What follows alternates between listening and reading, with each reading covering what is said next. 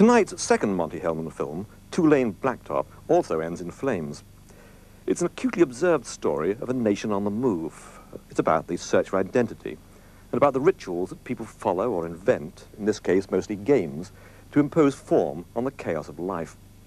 The characters don't have names. They're known by the roles accepted and assigned. The driver, the mechanic, the girl. Because although Hellman has a personal vision, he expresses it through a deliberately impersonal, detached style. Important things happen on the edge of the frame, and one of the keys to the meaning of the film is found in a song heard almost in its entirety on the car radio in the background.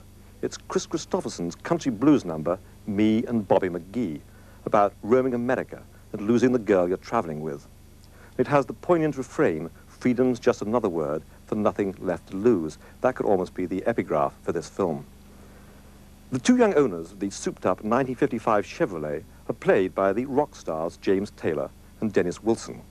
And Hellman's chosen them for a reason.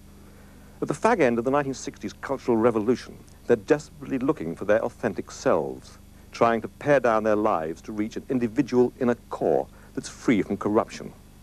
The man they meet driving the gleaming Pontiac GTO, played by Warren Oates, the film's only professional actor, is a familiar figure from American life and literature the human chameleon, the confidence trickster, constantly changing his identity to fit the people he's with and the new situations he's in.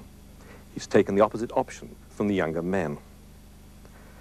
When I reviewed this picture for The Times 15 years ago, someone got five pounds for sending a quotation from my piece to Pseuds Corner, that column in Private Eye magazine where every fortnight the pretentious and the pompous are impaled. What I wrote was this. The film's structure is simple and linear, its various resonances complex, even mystical. In a hundred minutes' time, you will be able to decide whether or not I got my just desserts.